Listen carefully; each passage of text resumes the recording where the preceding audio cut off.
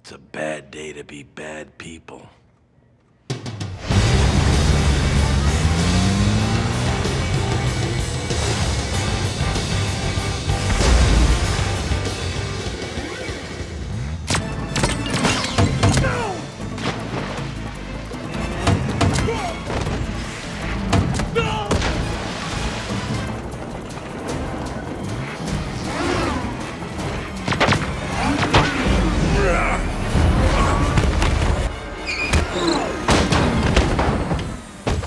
Yeah!